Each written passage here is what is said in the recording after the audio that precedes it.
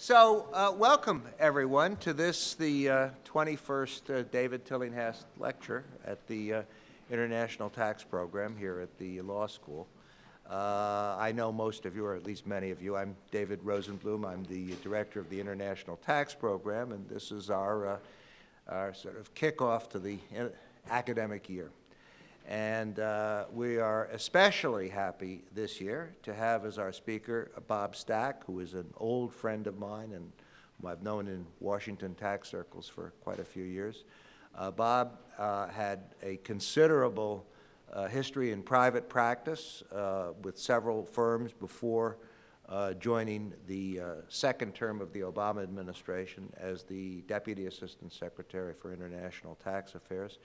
Uh, and in that capacity, I, I, think it's fair to say, although we'll probably hear more about this in a couple of minutes, that he was the leading, certainly the leading U.S. representative, and maybe one of the very few people following the, uh, the BEPS debate in the OECD for, for quite a few years. And I think we're going to hear, we're going to hear more about that in a, in a couple of minutes. Um, what we will do, Bob will give us a lecture on the multilateral instrument, uh, uh, which I'm very eager to hear about since I find it totally confusing. And, uh, and then after that, we'll have a, if we have some time left over, we'll have a few questions, not many, but a couple anyway. And uh, then there will be a brief uh, reception in the back afterwards for everybody. So thank you very much for coming here and in braving the weather. I know we got an incipient hurricane on our hands. Uh, but I'm going to turn the floor over to Bob and um, welcome. And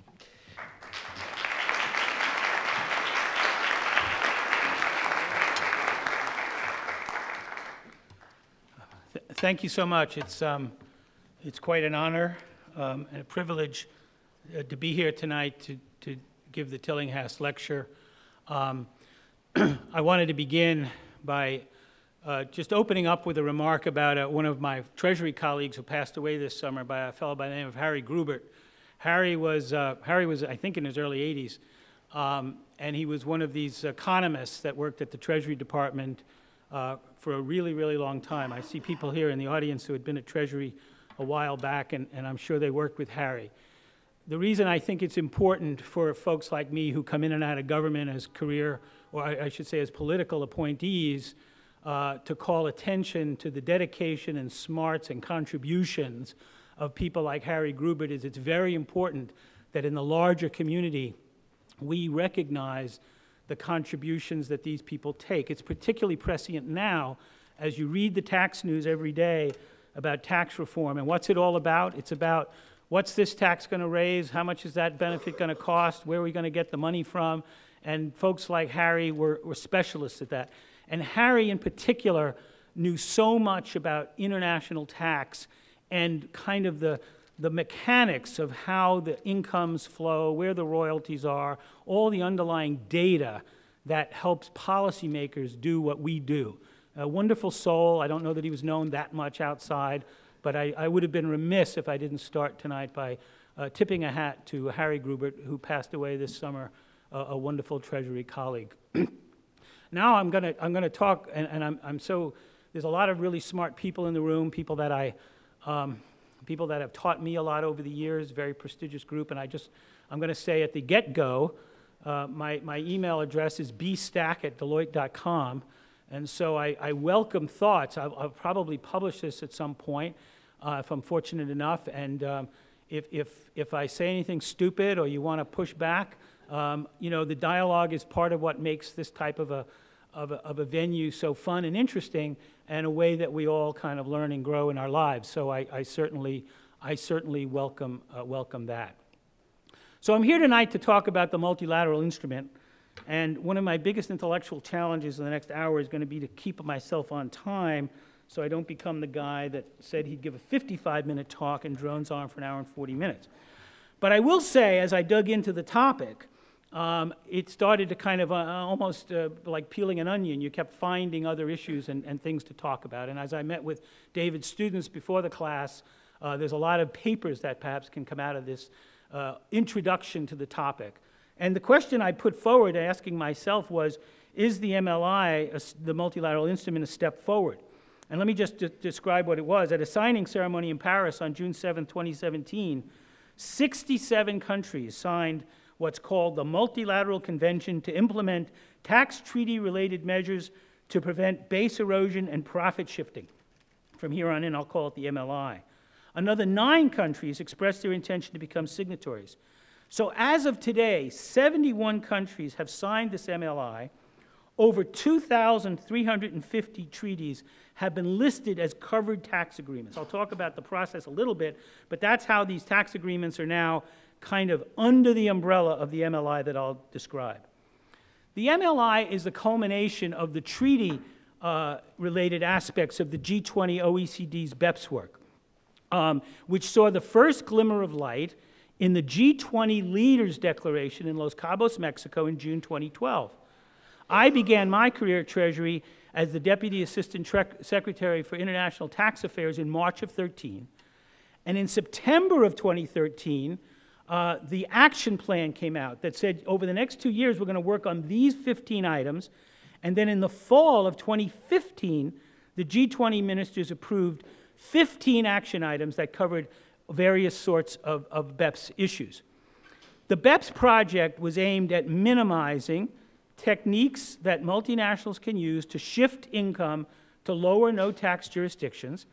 And at the same time, it sought to improve conflict resolution by uh, improving the MAP process and perhaps pushing arbitration forward, and also sought to harmonize various uh, reporting and, and compliance regimes that companies have to, would have to comply with, like country by country reporting or the uh, transfer pricing reporting that goes on. The BEPS action plan and related reports, as I mentioned, consisted of 15 items. But what's really important is that we all understand that of the 15 items, only four of them were minimum standards that countries, in effect, had committed to do. And the rest were things that countries might want to do if they were interested in limiting base erosion and profit shifting out of their jurisdiction or whatnot. The four minimum standards that everybody had to do were first, everybody had committed to put in place a regime for country by country reporting to tax authorities of the information about a company's uh, income, assets, et cetera, taxes in various countries around the world. The second was there was agreement in the OECD on certain rules around what constitutes harmful tax practices and what types of practices uh, would be subject to review by the OECD and declared harmful or not. And here the, the big example was the, the UK patent box, which was declared to be harmful. Um, that came out of this action that said everybody's now going to play by the rules of the harmful tax. Related to that, that action five, countries agreed to exchange rulings with each other if the rulings affected the other jurisdiction's tax. So, so no more might you be able to get a ruling that said you could get taxed here in this country this way, and everybody would know it would have affected the other country, but the other country might not know about it. Now those rulings would be exchanged. The third commitment everyone made was to do something to improve the mutual agreement procedure process that's embedded in treaties, called the MAP process. Um, and then finally, um, countries agreed to, to adopt treaty abuse provisions into their, into their treaties or into their domestic law. So those are the four things countries had to do. Now, two of those, the MAP changes and the treaty abuse changes, needed to be done in treaties by definition. And so the problem the OECD faced was um, if, if we now finish BEPS, and there are somewhere between two and 3,000 multilateral, uh, uh, bilateral treaties, tax treaties in the world, if we now finish BEPS and everybody goes out and has to start renegotiating bilateral treaties, this was going to be a process that was going to take a ridiculous amount of time. And so from the beginning, the OECD and the folks that started up BEPS had this idea of a multilateral instrument that everybody could sign to, in effect, adopt the, the required provisions out of BEPS. And, as we'll see, they used it as an opportunity to also give countries opportunities to take on some of the, let's call them treaty policy improvements that the OECD had been cooking up uh, for many years. So the way it worked is that a country wishing to sign the MLI would typically agree to the provisions relating to MAP. They had to do that, that I'll talk about a little bit later. They had to put a certain amount of language in their preamble about the purpose of taxes, and they had to um, agree to one of the treaty abuse articles that I'll describe. As to the rest, countries were kind of given a menu of provisions I'll talk about, and they could decide I'll take these, but not those. I'll take permanent establishment, but I'll leave behind fiscally transparent entities. And then when they were done, they were able to um, have a pre-approved pre set of, of provisions they were going to accept, and then they would decide which countries they're willing to call covered tax agreements. So they got, here's the provisions, here's the countries. Other countries would do the same thing.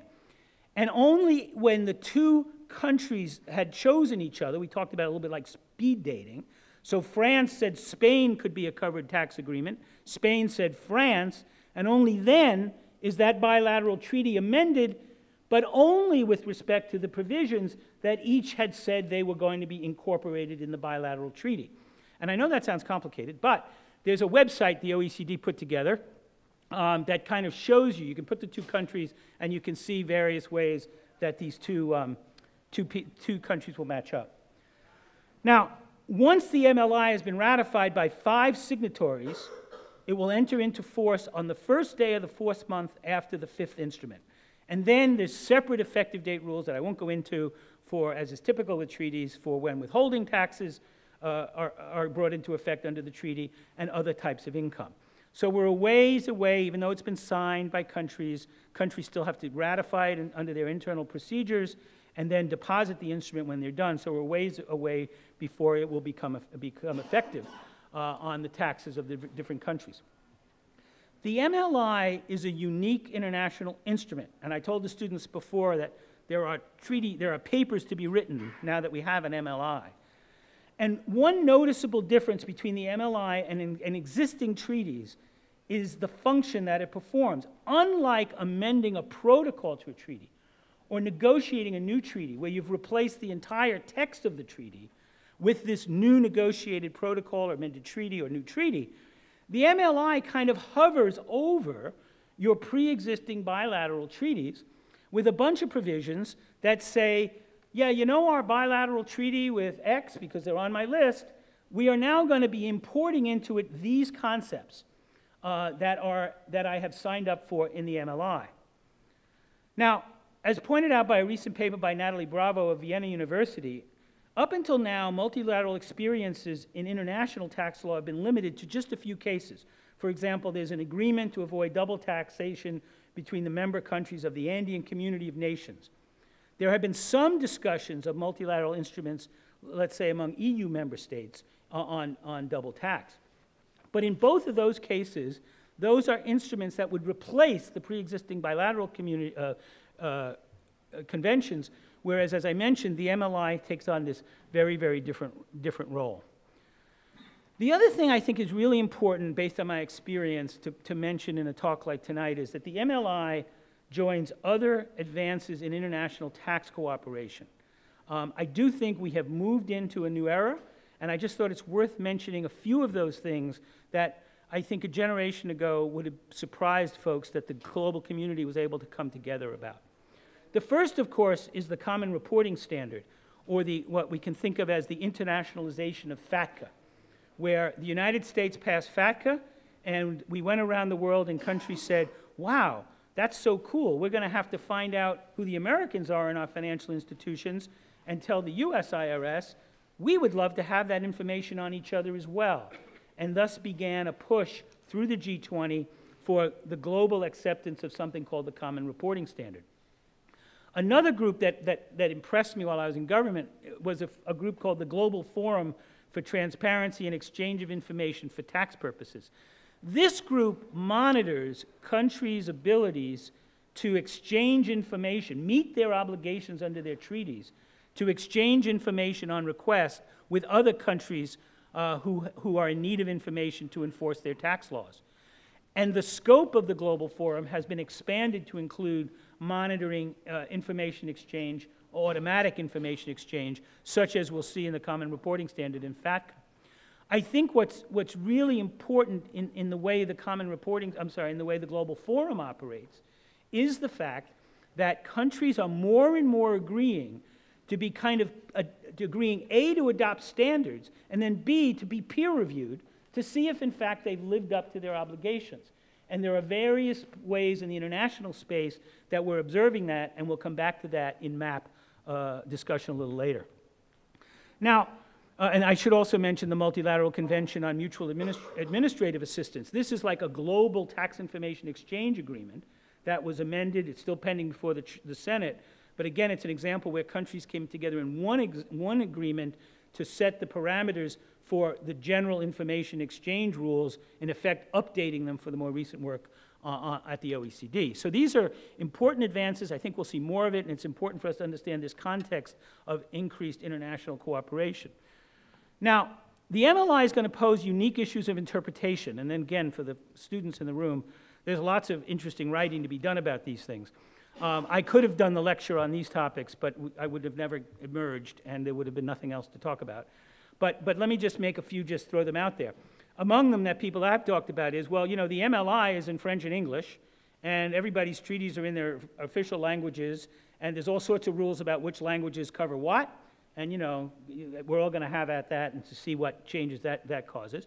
Some countries might produce a composite text and say, well, you know, we did the MLI, but instead of making you look back and forth to two documents, here's how we're going to think of our treaty as now modified with country X. And of course, that will raise questions about which is the official translation and which one really matters. The MLI contains something called compatibility clauses. What do I do when the provision in the MLI talks about PE rules, but I've got a PE rule in my treaty? How do I make the two compatible? And there are provisions that do that. I heard someone earlier refer to the MLI as complicated. I think it is. But um, th those clauses are supposed to help folks uh, sort that out. And now, too, by the way, we have unique preamble language in the MLI, and everybody's treaty has a preamble. And under the Vienna Convention, you're supposed to use the preamble to tell you what the context and, and object of the treaty was. And, you know, that will raise issues of kind of which preamble um, uh, uh, governs. Now, I want to say tonight, because the title was, you know, is the MLI a step forward? I, I understand those issues are there. I've read some about them. Uh, I think I don't think it was a reason not to do the MLI. I think as somebody trained in the common law, as I was, uh, I think the law evolves and changes with new and different instruments, and somehow, you know, the world doesn't end, and we'll get someplace. But there'll be a fair amount of ink spilled and litigation, I think, in certain cases, as those rules are being applied. Um, now, as we'll discuss, most of the news about the MLI relates to the provisions around permanent establishment, treaty abuse, and the MAP procedures. But it contains other provisions that countries could choose or not to, or not to include in their treaties that are generally viewed as helpful advances for tax policy. And if you're keeping score, I put these on the side of sure, these are a step in the right direction. And I'm going to just go very fast so you have a sense of what's in the document. So Article 3 has rules on how do you treat transparent entities for purposes of getting a benefit of a treaty. And it adopts the U.S. rule that says, well, you wait to see if the other treaty resident is treated in that jurisdiction of deriving the income before you uh, give the treaty benefits from the other contracting state. Article 8 of the MLI has a minimum holding period uh, requirement for dividends. Article 9 has a provision that permits you to tax, it's kind of like our FIRPTA, you know, the sale of shares of entities that hold uh, real property. Article 10 has a tri- what we call the triangular provision. That applies when you're treaty, you're, you have a treaty partner, but the taxpayer is conducting activities in a branch of the treaty partner where they may not be paying much tax. And how should the treaty apply in that circumstance? Um, I'm not going to delve in tonight to the, to the PE standard. Um, uh, I'm, I'm, skipping a couple, I apologize. Um, article, similarly helpful, Article 4 with respect to dual resident entities. Article 5, methods for the elimination of double taxation, that's exemption or credits. And Article 11 gives a savings clause for residence countries akin to what the U.S. has for its citizens. I'm not going to go into the PE changes tonight, although I think they're subject to similar criticisms I'll have of the PPT in terms of a certain uh, lack of clarity. But I will note that there are three changes in the PE clause. One is to the dependent agent rules uh, around concluding contracts. One relates to what are, do all the activity exemptions have to be preparatory and auxiliary? And the third one relates to splitting up contracts in order to avoid PE. The one surprise to me was that the new dependent agent rule that kind of makes it easier to view somebody as concluding contracts was not picked up by as many countries as one might have expected. In fact, I will say I, was, I spoke fairly vociferously against the PE provisions as they moved through the OECD to not much effect. Um, but I will note that, as it turned out in Europe at least, only three jurisdictions, major countries, uh, adopted the new dependent agent rule, which was France, the Netherlands, and Spain. Um, and so watching how PE rules evolve will be kind of interesting to see as to which countries adopted the new rule and which didn't. Action 14 aimed to strengthen the effectiveness of MAP, and it did it by, um, because everybody thought there was going to be more disputes after BEPS. So countries agreed companies should have, and taxpayers should have access to an effective and efficient means to address double taxation issues arising under treaties. And so the result of this work was a minimum standard to be included on tax treaties about MAP, more or less mirroring what's in the US treaty, a description of best practices to administer MAP, and agreement of a, to a robust monitoring process to ensure that countries were leading up to their, to their, to their obligations on the MAP. And the last one worth mentioning is arbitration. Now, arbitration was picked up in the multilateral uh, by 26 countries. And this, this is in, contained in Article 19.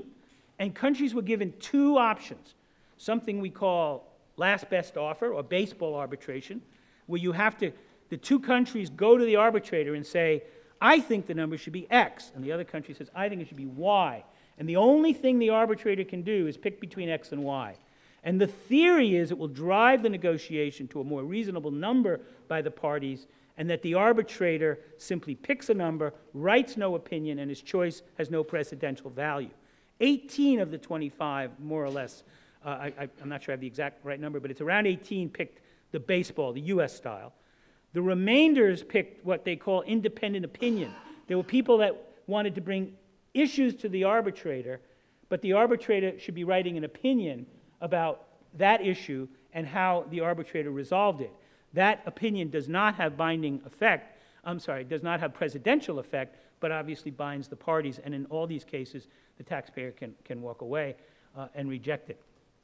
What I think is kind of interesting about the uh, arbitration provision is um, fully half of those countries who signed up for arbitration chose to exclude provisions that relate to a domestic general anti avoidance rule.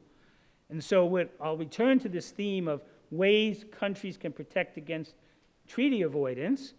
Um, and sometimes they can use their domestic GAARs, but when they want to use that tool, countries are very cautious about letting an arbitrator think about whether the GAAR was A, used properly, or otherwise contravened uh, the meaning of the treaty.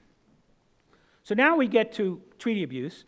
And the two, the two requirements were first, countries have to put in their preamble that not only are treaties about avoiding double, double taxation, but treaties are also about um, creating opportunities for the avoidance or evasion of tax, what is sometimes called double non taxation. So, for the first time, that concept is embedded in the OECD treaty in a way that will be broadly accepted around the world.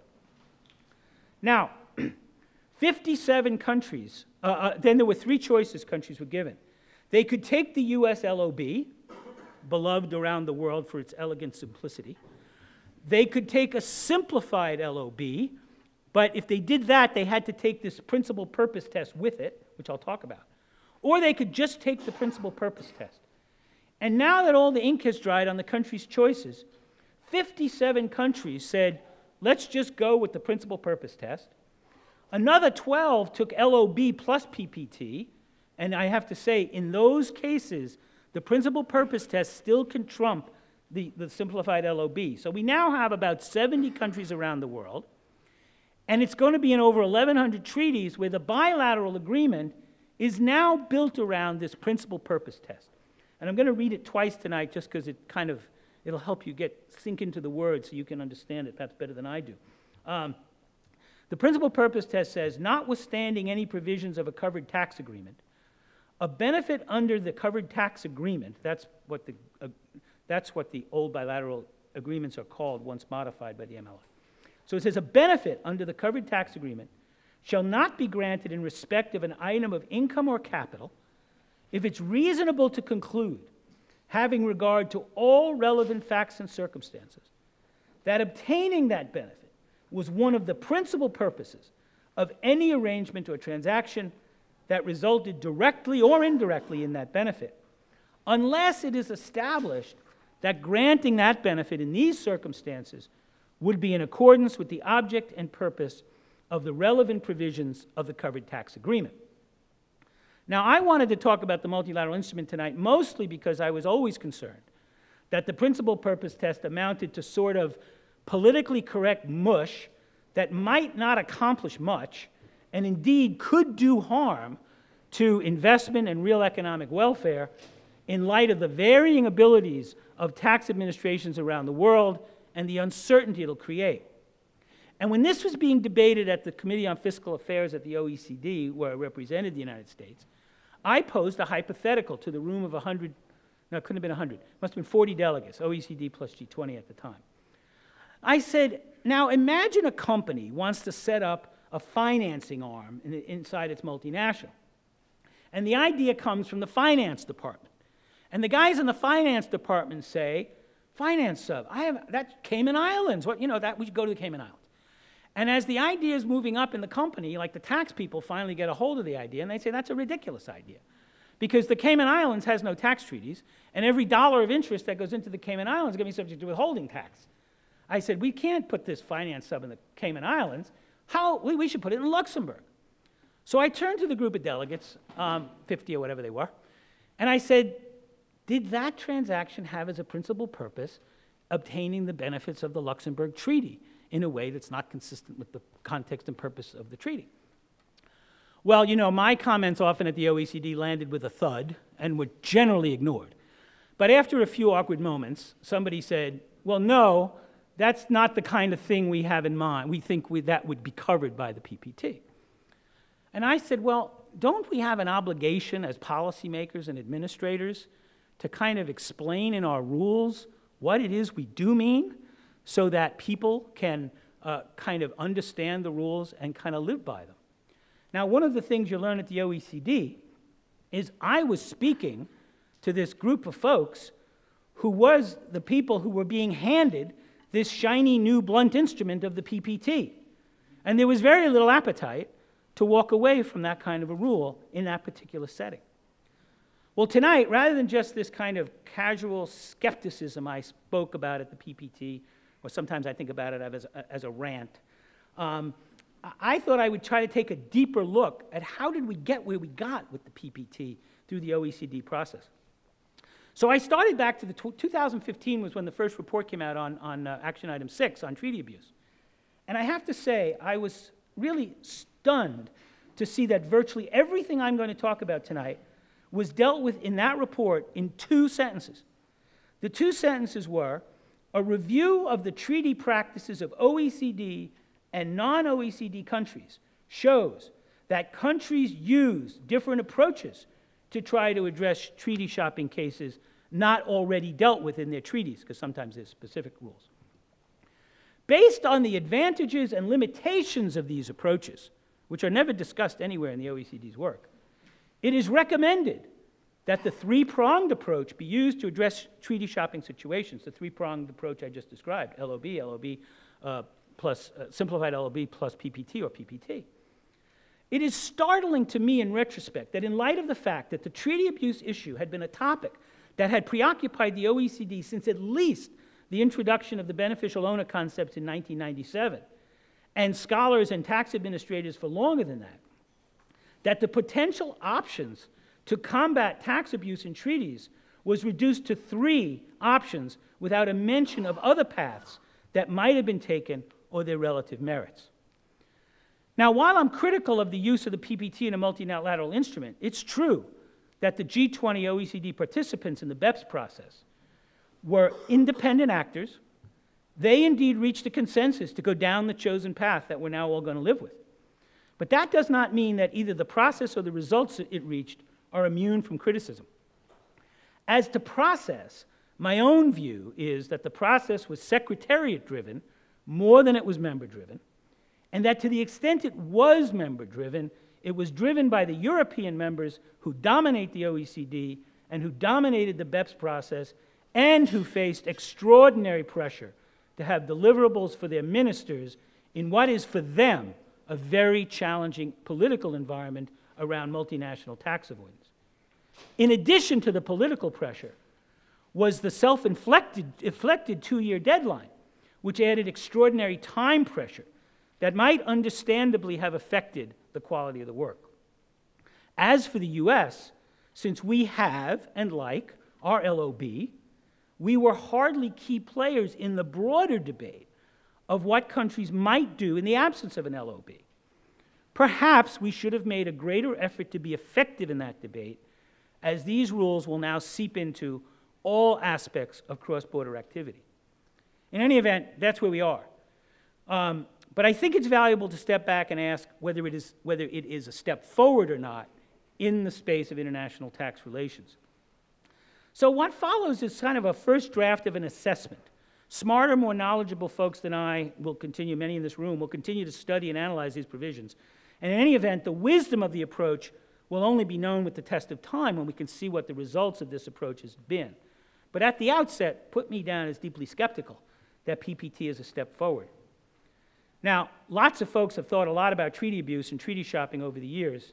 Um, so I decided to go dig deeper into some of those authorities, and I'm not going to cite them all here, but I found David wrote an article in 1983 in Law and Policy and International Business uh, called Tax Treaty Abuse Policies and Issues. There was a 2002 OECD report that Mary Bennett pointed me to on restricting entitlements to treaty benefits. Professor Stef Van Weeghel has a whole book called The Improper Use of Tax Treaties, and there's quite a list that goes on and on. Uh, in fact, most recently, J. Ross McDonald of, of, of, Baker has a piece in Tax Lawyer entitled uh, Examining the U.S. Treaty Policy and Its History uh, in Treaty Shopping. And of course, the OECD commentary is always rich with observations and analysis. And I hope to do a, a, a further biography, bibliography when I, when I get to push, put this out in public.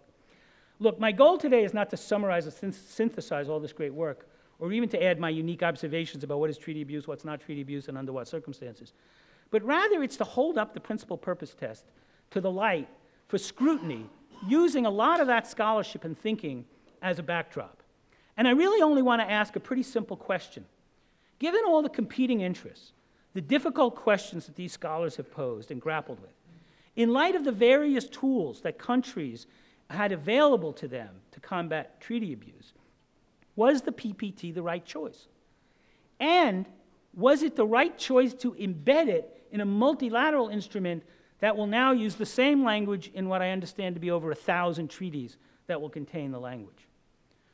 Perhaps different from these scholars and perhaps influenced by my experience as a practitioner, I also intend to consider whether rules like the PPT need to be made taking into account the ability of tax administrations around the world to administer these rules in, in, in fairness and with integrity that our legal system should, should deserve, and whether certainty for taxpayers might have been a criteria in thinking through as tax policymakers the benefits of an approach such as, uh, such as the uh, PPT.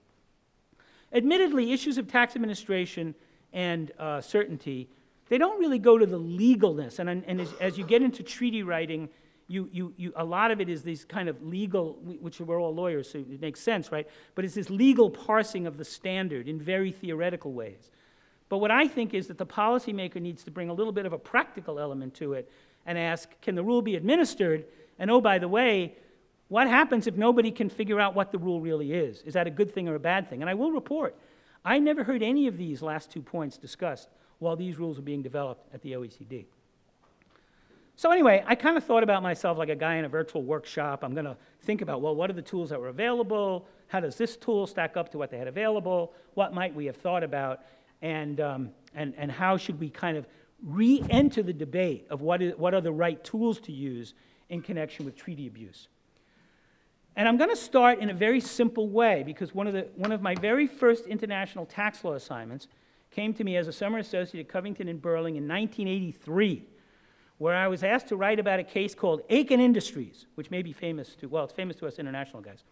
But, um, uh, and what I like about Aiken Industries as a place to start is, is it helps us start thinking about, well, what are the tools available to tax policymakers to think about treaty abuse. Because it's actually a simple case, and it's pretty easy for me to just explain it in a few sentences. So, a US company borrowed money from its Bahamian affiliate, uh, a lot of money. And somebody must have woken up at some point and said, you know, when we have to go pay the interest back to the Bahamian affiliate, there's a 30% withholding tax in the United States. Uh, what are we going to do? So, another great person in the tax group or outside counsel um, came and said, well, here's an idea. Why don't, why don't we have the Bahamian company assign the notes to a Honduran company? Because Honduras has a treaty with the United States. And under the Honduran treaty, it's only required that the interest be received by a Honduran corporation. So now, U.S. pays the interest to Honduras, gets the treaty. Honduras had set up separate loans that mirrored the first loans with the uh, Bahamian entity, pays on the money, Voila, tax planning 101. Well, the court said, you know, we don't think under the U.S. Uh, treaty, uh, U.S. Honduras treaty, that it's right to view the Honduran entity as having received the interest. And we don't think it's right to have treated as having received the interest in light of that back to back arrangement we learned about while studying the case. And so the court effectively said because Honduras was not the beneficial owner of the interest income, the U.S. Honduran treaty did not apply. the place is great to begin making some observations about history of combating treaty abuse. First, because a treaty is an agreement between two sovereigns, the issue of abuse arises in a fundamentally different context than arrangements that are solely within the purview of a domestic tax authority.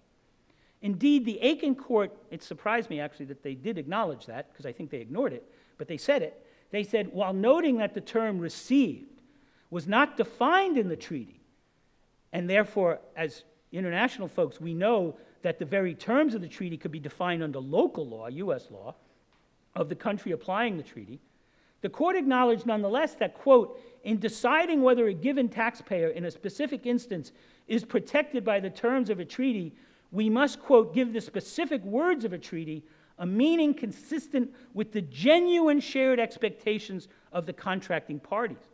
And in so doing, it's necessary to examine not only the language, but the entire context of the agreement, quoting Maximov v. United States.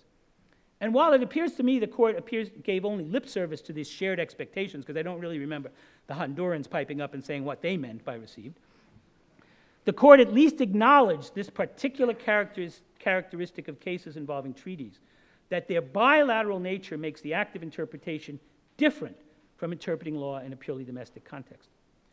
But the point I want to use Aiken for to start with tonight is it illustrates the very first important tool available to countries seeking to deal with treaty abuse domestic law.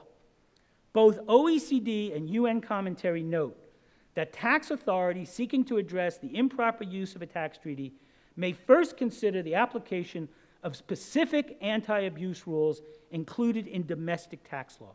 And the UN and the OECD have given a lot of examples. They talk to things like CFC rules, thin cap rules.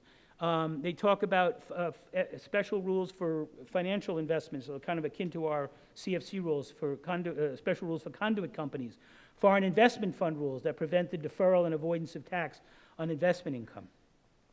And so we put down a marker, and the US, of course, has promulgated specific anti conduit rules in its regs, other rules under Section 894 that limit treaty uh, uh, benefits in, in the case of pass through entities under certain circumstances.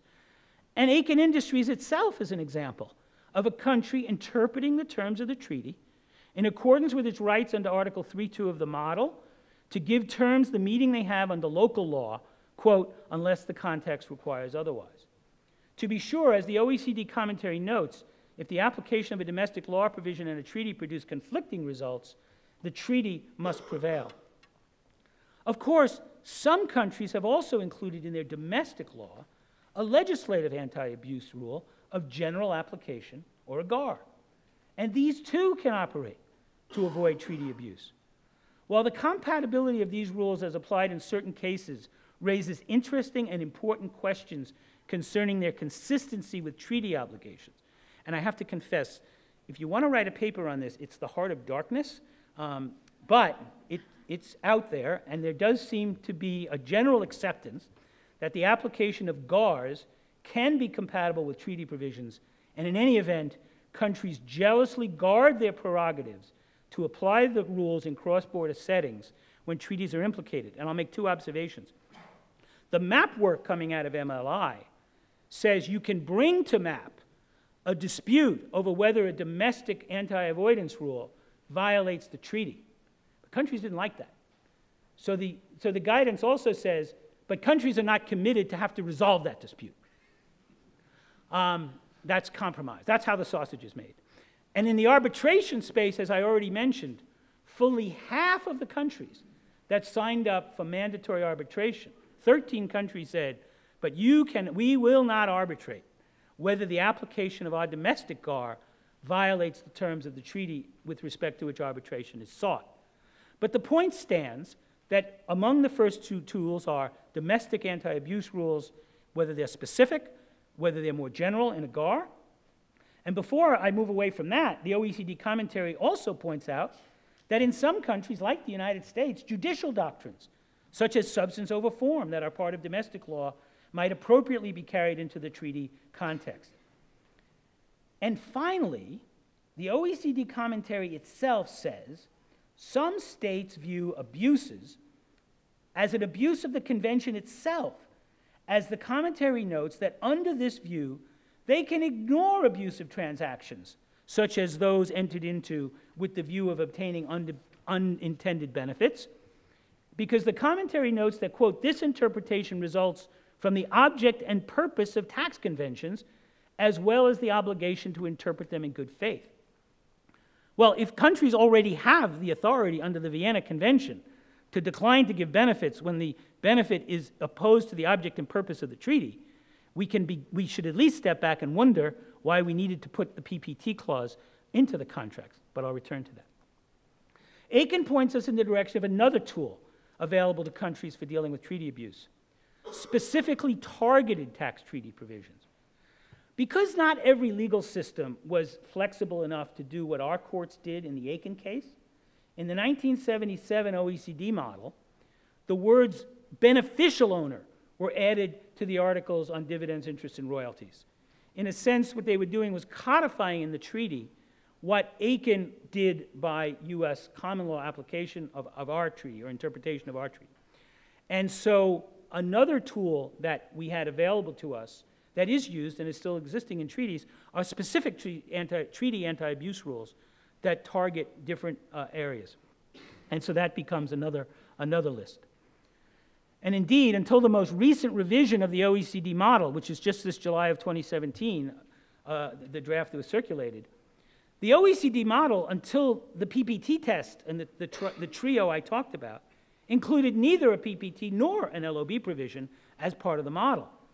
Rather, it described various options that countries might want to consider in their bilateral treaties, and in doing so, invited countries, as you're thinking about it in your bilateral negotiations, to take into account, among other things, the legal context in both contracting states, and in particular, the extent to which domestic law already provides an appropriate response to the avoidance strategy being talked about. The commentary went on to describe specific provisions that might combat conduit company cases, uh, that, might, that might contain subject to tax rules. You only get the benefit of a treaty rule if, if on the other side the income is subject to tax in, in the treaty country. Certain rules that were akin to our base erosion rules in our LOB. In other words, yeah, you might have the right owners in that country, but all the income's getting siphoned off to, to countries that are not the right uh, the residents of the treaty partner. So there they were laid out in the OECD.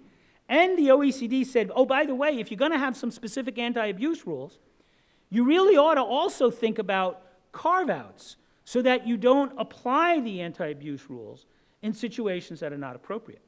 And it uses things like a good business purpose, uh, real economic activity, uh, et cetera, that are listed in the commentary, so that it was very cautious and careful that going down the anti abuse rule route needed at least some backstops to be sure that there could be at least some cabining you know, of those concepts. Now, I, will, I do want to take a minute on the USLOB because it is, in fact, another approach available to policymakers. Um, it was among the choices countries could adopt in the MLI if they had accompanied it, by the way, with domestic anti conduit rules like we have in our, uh, whatever they are, 883 1 regs. No one adopted the USLOB. I think there are a few observations about the USLOB are warranted.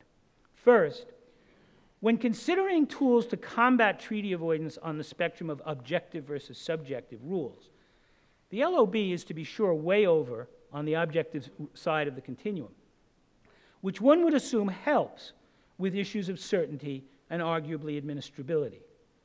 Um, at least for my practice, the US LOB permits investors in the vast majority of cases, whether you like the response or not, to know whether they'll be able to obtain the benefits of the treaty by applying the objective rules set out. I think that's a virtue that the PPT doesn't possess. Second, and I have intentionally avoided the topic of the purpose of tax treaties because it's a morass out of which I would never emerge.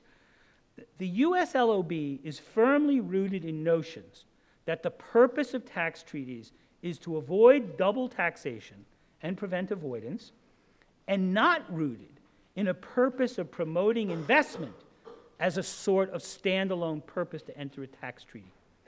And at least that, if you go back through the US LOB with that prism in mind, and I think if you add to it some notions of our 894 regs and the preamble to it that talk about the subject to tax concept, that under certain circumstances we're going to care that the income that's being relieved in the US is taxed elsewhere, you can kind of reverse engineer the purposes that the US, I'm sorry, that the way the US thinks of the purpose of treaties, and that, that is then embodied in the LOB. But the LOB has many detractors, not only, of course, abroad, but in the United States as well. On the pure substance of the LOB, Ross Macdonald, I mentioned his article earlier, echoed sentiments that I heard often at the OECD that it is horribly over inclusive and horribly under inclusive. In other words, it's kind of not a tool that does what it was intended to do. And I also want to report that I think that theme was repeated over and over again at the OECD, so by the LOB for a lot of reasons, but particularly this one, I think, became damaged goods.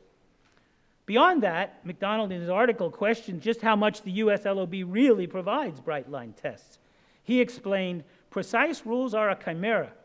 Drilling down into so called precise rules ultimately leads back to issues of ambiguity and subjectivity that the, price, the precise rules were intended to avoid. Finally, their complexity alone has been the subject to criticism even here in the US. No lesser a person than David Tillinghast himself observed, referring to the treaty shopping provisions of the 1993 US Netherlands Treaty. The United States has indulged its penchant for writing complicated prescriptive rules without regard to whether they are enforceable. The next sentence is kind of a nice one. This serves only to penalize the conscientious and reward the unscrupulous. I'd also note that these um, complicated rules that David's referred to have only gotten admittedly more complicated as the LOB has shifted and grown over the years since David wrote that in 1996. But in a world in which policymakers must choose between competing approaches to combating treaty abuse, it is still fair to ask whether, notwithstanding the shortcomings of the US LOB, we have landed in a better place with the PPT embedded in a multilateral instrument. So, with these choices before them, OECD members approved as an option the inclusion of a PPT test in a multilateral instrument, and once the instrument was open for signature, they overwhelmingly chose this option. Why? Well, first, as the BEPS process played out, countries were given essentially two options take the LOB or the PPT. Any discussion, as the discussion above seeks to illustrate, we did not have to be in this position, as there are, in fact, a variety of tools available to combat treaty abuse, some of which would not have been, had the limitations of the PPT that I'll talk about. Once the choice was narrowed as it was, even for those who may have viewed this as a tough choice, I think a sort of widespread acceptance of the view that the LOB was under and over inclusive sealed the deal and folks went to the PPT. And second, and this was my experience throughout BEPS, if you tell a tax authority that they can either have a complicated technical rule or a blunt instrument that leaves them with all the power to determine on a case by case, case by case basis whether something bad has occurred, it seemed to me at least that they would choose the blunt instrument every time. I would add that it was certainly expressed to me various times at the OECD that vague, subjective rules are better than clear ones because multinationals will simply plan around the clear rules. So, what to make of this chosen path? First, you might ask why a minimum standard was needed at all, since all of the above tools that I mentioned are available to countries, ranging from these domestic anti abuse rules, judicial doctrines, specific rules put in their treaties, etc. It's a really good question why we needed this. The 2000, there was a 2009 UN report from its committee on experts that observed that, quote, developing countries may also be hesitant to adopt or apply general anti abuse rules if they believe these rules would introduce an unacceptable level of uncertainty that would hinder foreign investment in their territory.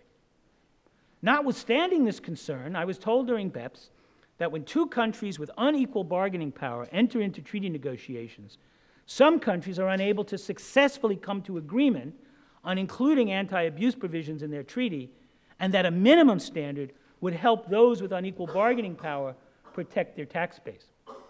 And that's a fair point if supported by experience, and I have no reason to believe it's not. But this, in turn, relates to an entirely separate topic, another good paper topic for the class members, of why countries enter into treaties in the first place, and whether it makes economic sense for them to do so, particularly if their treaty can become a treaty with the world if they don't protect their base in the process. But that's a question for another day. I'd also note, however, something I learned along the way, and it goes to the desire of countries to induce foreign direct investment. What kind of struck me, and I was a little late learning this in the BEPS process, there's absolutely nothing in the minimum standard that requires a country to protect its base by actually enforcing the minimum standard. They're forced to have it, but they're not necessarily forced to enforce it with respect to their own tax base. It is rather only um, just as, for example, earning stripping rules are, are, are mentioned in BEPS as a potential tool, but they're not a minimum standard that any country has to note. But the minimum standard approach misses the point that requiring the inclusion of a provision in all treaties offers no insight into whether any particular country has an incentive to enforce it, since tax competition pressures among countries remain and are an ever present reality for all countries, especially developing countries. In any event, even if there is a consensus that countries should be able to force other countries to include anti treaty abuse language in treaties, there remains a separate question whether the PPT represents a step forward. Now, I read the language earlier. I'm not going to reread it again because I'm looking at the clock. But with an audience such as this, I don't really want to spend time parsing the language of the PPT. Uh, I think that we should all agree that as we sit here today, it is not clear at all what conduct will run afoul of the provision, and I would like to make a few observations. First, let's go back to Aiken Industries and its progeny. Remember, I said that they put this beneficial ownership test in the, in the treaty back in 1977. And countries said this is great because, you know, it wasn't clear in a lot of jurisdictions um, what, what, how that was going to be uh, treated. Well, it's worth mentioning that that new language in the treaties didn't turn out to be a magic bullet, as a lot of the folks around here who study this know better than I do. And why? And I think this is so critically important to this whole analysis. Different countries have different modes of interpretation of language, whether it's in treaties, statutes, constitutions, or even contracts.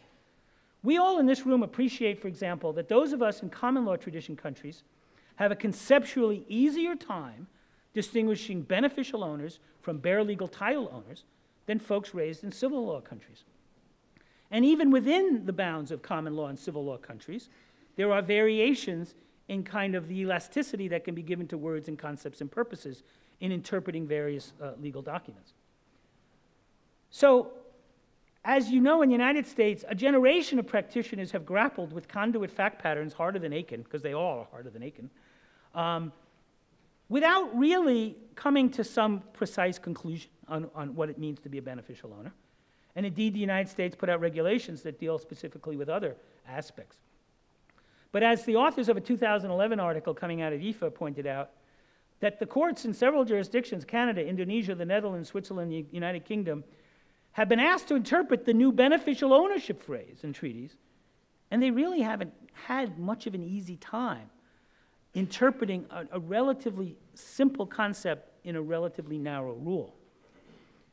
And so the question arises um, in light of the debate has, I'm sorry, the debate on beneficial ownership has moved so far as to include a suggestion by Philip Baker, the UK uh, barrister, that certain terms should be treated as having, quote, an international fiscal meaning, as opposed to a purely local law meaning. So, as I stand back from the concepts I've examined so far, I'm left to consider that even specific anti abuse rules and treaties covering relatively narrow concepts uh, have given taxpayers and tax administrations difficulty. And part of that difficulty results, in part at least, from differing legal traditions in countries trying to parse similar language. Now, you might say to me, taxpayers always have to deal with differing legal systems and different interpretations of similar concepts. So you might say, well, that's just a feature. That's not really a bug. That just describes the world as it is. But I still think it's fair, in light of that observation, to ask whether, um, whether the people that were endorsing the PPT test um, in light of the various interpretations it would encounter around the world, had any sense of what fact patterns it might in fact be applied to, or what principles will guide it. Most of us in this room, there's examples. If you go through the commentary, there's, there's ABC to JKLM, whatever M is, JKLM, 13 examples uh, in, in the commentary. And, um, and, and if you try to reverse engineer them like you might do as a good lawyer, you, you would want to see if you could get some interpretations that lead to broadly consistent uh, interpretations of the principles. And I don't have any time, I'm not going to do that exercise, although you may want to try it at home in your spare time. It's challenging to read the examples and discern the principles that are going to motivate the PPT. The only principle I can discern, and as you will see, it's not really a principle, is what I call the tax abuse porn test. For the non US folks in the audience, the reference is from a line used by the late Potter Stewart a Supreme Court Justice of the United States, who once suggested that although he could not define pornography, he explained, I know it when I see it. so there's one example in the commentary, I think, that gives us a principle, and it involves a usufruct. And my one takeaway from the PPT examples is if your tax arrangement includes the syllable fruct, you are, how shall I say it, not going to get the benefit of that particular treaty. Beyond that, I have not been able to discern broader principles from the examples that might aid taxpayers and administrators to apply the test with any consistency or integrity. Indeed, had the drafters been able to discern any such principles, one would have expected that they might have explained them. They did not. As if the linguistic and legal uncertainty looking at the plain language is not enough, I should add that there's new preamble language now in the MLI. And there are two concepts in the new preamble. Remember, the preamble under the Vienna Convention can inform the interpretation of a treaty. And there are two new concepts baked in. There's the concept of double non taxation, and again, the paper to be written on what that means. Um, and there's another concept that profits should be taxed where value is created. Um, and no one knows what that means. And so now we are adding on to the interpretive mess of the words. So it's difficult to see how the new language in the PPT, coupled with new preamble references um, and, about non taxation and value creation, will not make the interpretive issues surrounding beneficial ownership seem simple in comparison to the interpretive issues we're going to face in interpreting the PPT. In the Dubrow article, published just in 2011 after the IFA conference, uh, where there was a general report on the topic, he wrote Relatively few tax treaties contain GAARs, according to which treaty benefits are denied if, for example, the main purpose of the transaction is to obtain such benefits. That alone is an interesting data point when nearly 70 countries are now about to add such an untested provision to what I understand is about a thousand bilateral treaties. Now, in the interest of time, I'm going to skip, but David had written back in his 83 article about the fact that since the 50s, certain U.S. treaties used questions about whether arrangements were created or maintained in order to get the lower dividend rate under, in that day, the US UK treaty and other treaties. And back in 83, David explained that these were subjective tests and troublesome as no administrators would really understand how to apply those tests. And that will uh, uh, remain the same today. And indeed, when we were, when we were, when we were talking at the CFA about the PPT, my UK colleague mentioned at one point that the UK had a PPT in its treaty for the longest time, and that there'd never been a case. And I have to confess, he kind of shut me up because I didn't quite know what to make of the data point. I was reminded of the story of the guy in New York walking down the street with a, a stick out in front of him. And another guy comes up to me and says, What's that for? He says, It's to keep elephants away. And the guy says, There's no elephants here. And he says, See, it works. And that seemed to be part of the logic uh, of adopting uh, the TP. Okay, I'm getting to the end. Um, in a touch to me that seems almost ironic, I wasn't sure if something could be almost ironic, um, or maybe even comical, once the BEPS reports were finalized in 2015, the European Commission took note of the PPT and was generally on board, except it was concerned that tax authorities running around willy nilly applying a principal purpose test, that's my language, not theirs, um, might run afoul of, quote, agreed standards across the union to provide legal certainty both for taxpayers as well as tax administrations. Really. More importantly, they noted that the PPT needed to be aligned with the case law of the Court of Justice of the European Union as regards abuse of law. And this commission recommendation, dated January 1st, 2016, then recommended that when member states include a PPT in their treaties, they insert a phrase so that it reads, a benefit will not be granted. Remember, the original language was if, it's a, if it has a bad purpose, blah, blah, blah, unless it's established that granting the benefit would be in accordance with the object and purpose.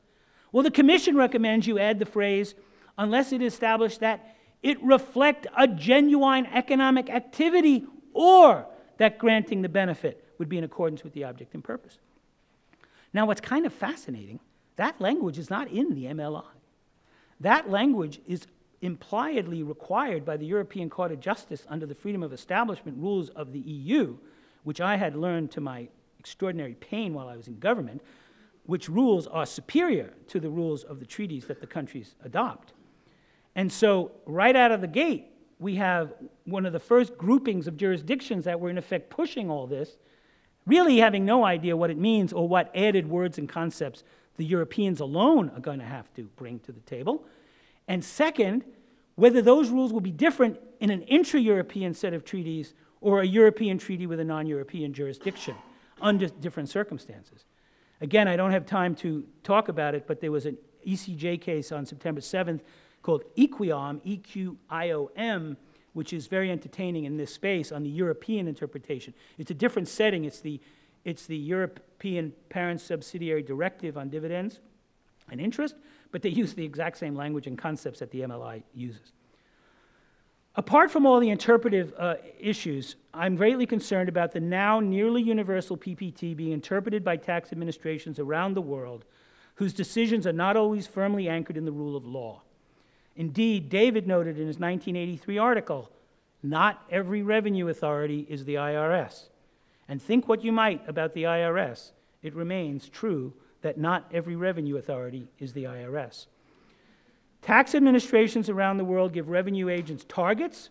They give targets to finance ministries, financial targets. They continue to evaluate and remunerate agents on grounds that are not consistent with an objective and dispassionate assessment of the facts in the law. They provide access to appeals rights that are at best uneven and have suspect, or at a minimum, painfully slow judicial processes.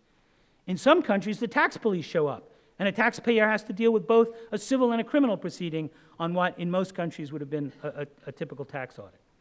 Now, what I say about these tax authorities, I mean in a descriptive way and not a judgmental way. I don't in any way mean to underestimate the challenges of tax administrations around the world, particularly in developing countries that operate in trying conditions, often with inadequate resources. I am simply saying that the choice of the anti abuse tool chosen to be included across the entire network of international tax treaties might have been at least partially informed by the ability of tax administrators to administer it. David Tillinghast made this point about our LOB back in his 86 article, and, and indeed the OECD commentary makes a suggestion to countries, but not a requirement, that like some countries have different review panels, or the application of GAAR needs to be referred up in the finance ministry or their IRS before it's applied, countries might consider doing similarly with the new PPT. Not a requirement, it will remain to, to be seen.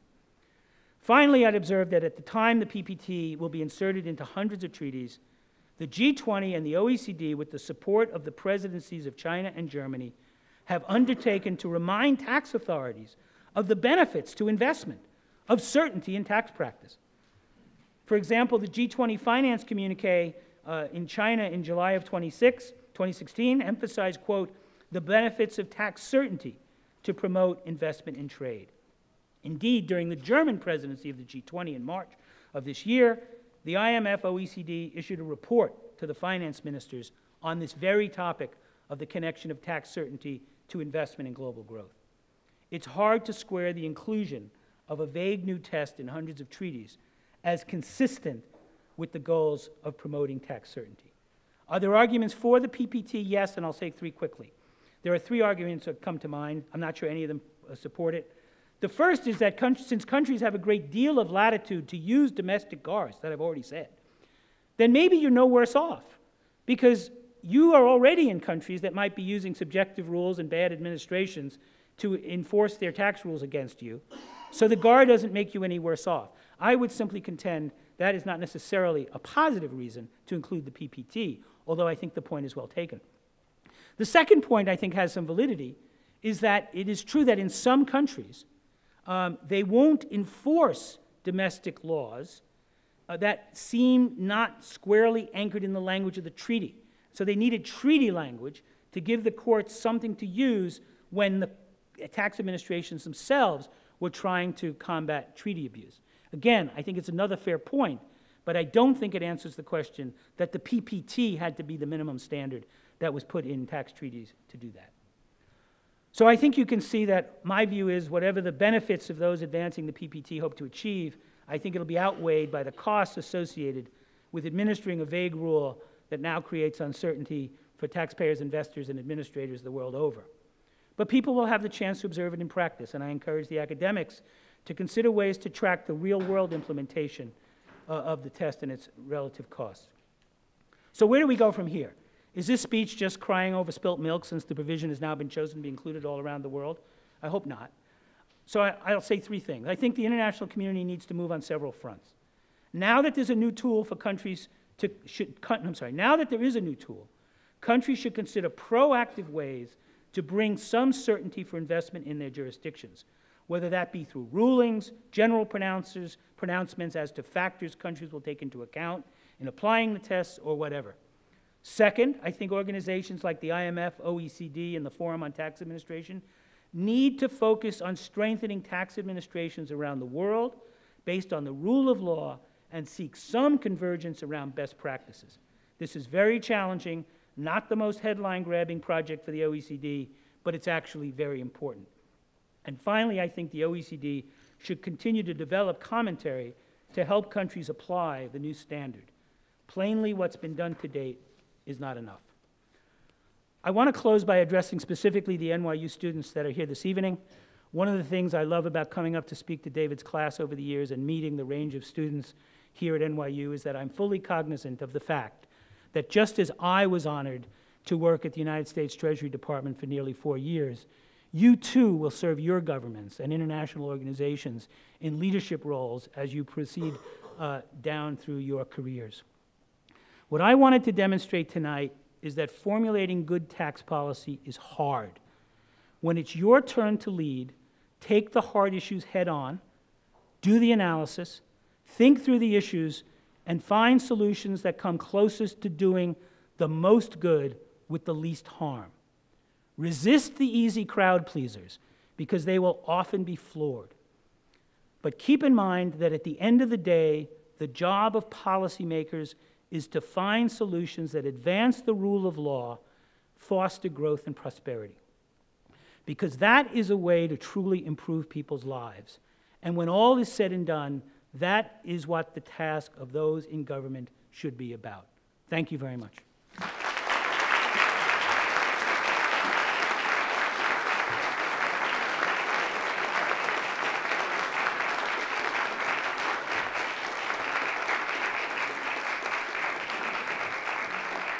Uh, Thank you very much, Bob. That was, that was fascinating. I have all sorts of reactions, but we- I don't have time to share them with you. Uh, But I would like to ask the audience if anyone has any questions they want to put to Bob, because I, I promised we'd take a couple of questions, and we, uh, even though we're exceeding our time, we will take one or two if anybody wants to get up and ask any.